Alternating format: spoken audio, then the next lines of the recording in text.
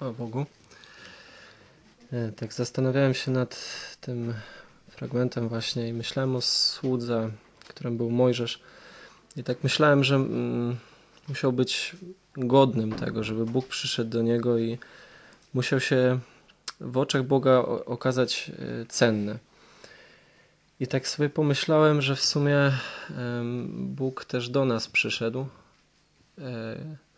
E, może nie w taki do, e, dosłowny jakby sposób, ale kiedy zaczęły nam się pojawiać myśli, kiedy zaczęliśmy myśleć o Bogu, wierzyć w Niego, e, kiedy, kiedy daliśmy się ochrzcić, bo uwierzyliśmy Jemu Słowu, tak myślę, że Bóg przyszedł do nas jak do Mojżesza.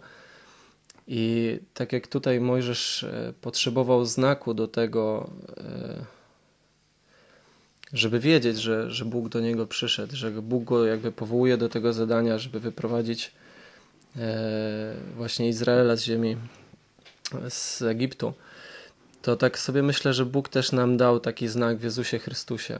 E, posyłając swojego Syna, dał nam znak e, tego, że chce być z nami i że chce nas poprowadzić, właśnie wyprowadzić z tego Egiptu. I tak sobie pomyślałem o tym, że w pewien sposób też jakby ja muszę być takim godnym, e, godnym tego, żeby móc jakby to wykonywać. I pomyślałem o tym, że mm, tą godność e, możemy mieć w Panu Jezusie Chrystusie.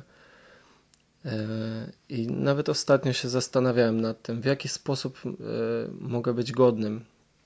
I i otworzyłem fragment e, z Ewangelii Łukasza, 9 e, rozdziału,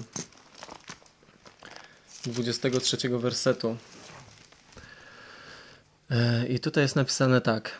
I powiedział do wszystkich: Jeśli kto chce pójść za mną, niechaj się zaprze samego siebie i bierze krzyż swój na siebie codziennie i naśladuje mnie. Kto bowiem chce zachować duszę swoją, straci ją. Kto zaś straci duszę swoją dla mnie, ten ją zachowa. I tak sobie pomyślałem, że to jest jakby naszą godnością, to, że możemy e, brać krzyż swój i iść za Panem Jezusem Chrystusem. I też e, bardzo powiązanym fragmentem z tym jest z kolei z, Ma z Ewangelii Mateusza z 10 rozdziału. E, I tu jest właśnie napisane o tej godności. Dlatego tak sobie pomyślałem. E, E, że to jest ta godność właśnie, że, żeby brać krzyż swój i zapierać się samego siebie. I tutaj w dziesiątym rozdziale Ewangelii Mateusza w 38 wersecie jest napisane tak. I kto nie bierze krzyża swego, a idzie za mną, nie jest mnie godzien.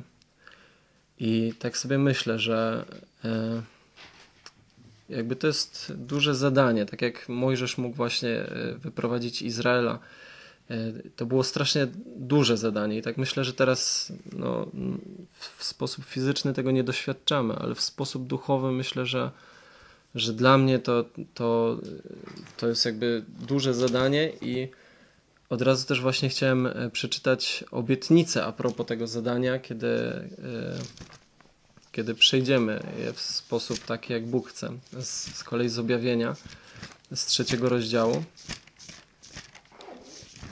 E, trzeciego rozdziału i czwartego wersetu i tutaj część B. ale przeczytam całe, ale chodzi mi głównie o część B. Lecz masz w Sardes kilka osób, które nie skalały swoich szat, więc chodzić będą ze mną w szatach białych, dlatego że są godni. No i tak właśnie sobie pomyślałem, że to jest duże zadanie, ale też piękna obietnica tego, że w Panu Jezusie Chrystusie możemy być godni i w tej godności będziemy mogli wejść do nieba. I tak jak właśnie Mojżesz mógł przeprowadzić Izrael przez e, wyjście z Egiptu i przez tą pustynię i przez ten czas jakby doświadczeń, powiedzmy tak jakby teraz to obrazując na nasze życie, tak później mogli wejść do ziemi obiecanej. Tak samo poprzez życie w tej godności my będziemy mogli wejść jakby właśnie do tej ziemi obiecanej, do miejsca, gdzie będziemy z Bogiem na wieczność.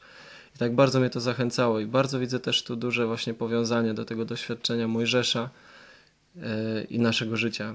Więc tak sobie myślałem właśnie, że Bóg dopomógł w tym, żeby przejść to doświadczenie, tak jak Bóg prowadził Izraela, to tak, żeby Bóg nas poprowadził przez to życie do, do tego, aby, aby to powołanie, które dostaliśmy w Panu Jezusie Chrystusie wypełnić E, zgodnie z Jego wolą.